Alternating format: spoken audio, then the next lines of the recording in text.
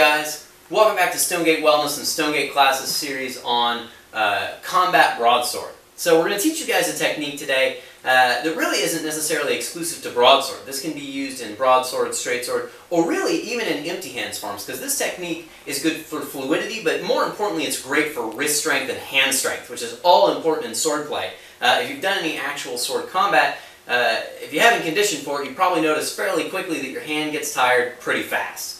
So this is going to be a really basic drill that you can use to build some wrist strength, wrist flexibility, and some fluidity with the weapon. Now, uh, you should know your basic figure of eight drills. If you don't, that's okay. Our next video will probably be on those, so keep an eye out for that. Uh, but we're going to do uh, just a basic wrap spin pattern. So this is a really classic sword spin. You actually see this in some sword forms. It's not present in the Tai Chi sword form, but I'm going to break it down for you to make it fairly simple. So what I'm going to do is I'm going to start with the blade essentially vertical behind my back at the small of my back. And I'm going to show you the pattern, and then I'll bring it up to speed and show you what that looks like.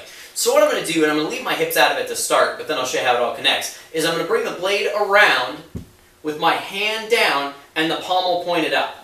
From here I'm going to roll it out to my right, let that momentum continue through the blade and drop my wrist to let that roll around the outside. And then I'm going to let that momentum continue down, back, and roll my hand up right here behind me again. So I end up in this exact same position. So a little more quickly, I bring the blade out, out, around, and back.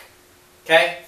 Out, out, around, and back. Now, of course, this is Tai Chi, so I want to get my body engaged because I don't just want to pull that from the shoulder. So what I want to do is I want to pull from the hips to bring the blade out, around, and then bring that back in. Okay, so I've got this nice rolling motion that I'm going to continue. Now, you'll notice that once I really get it moving, I don't necessarily come all the way back into this starting position every time. That's okay, because what I want to do is build fluidity. And as we know, Tai Chi is about removing to the end point. We don't want to come to the point where we stop and start over. We want to break that and bridge that gap and connect the two motions. So I'm going to come out, out, around, back. And as I come back, I'm going to be bringing that blade back out.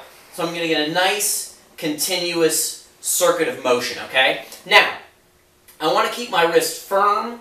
I want to keep my grip secure, but I don't want to over squeeze the weapon, okay? Because that's no good. I don't want to kill it. I want to allow it to roll just a little bit in the hand, but I want to keep that motion nice and fluid, okay? And over time, you can bring that more and more up to speed so that you're moving the blade fairly rapidly. And that's going to be a pretty good exercise for the shoulder and for the wrist, okay? So that's blade spinning. You can do this with both hands for sure, and you definitely want to. You want to make sure that you're training both sides. You don't want to be unbalanced.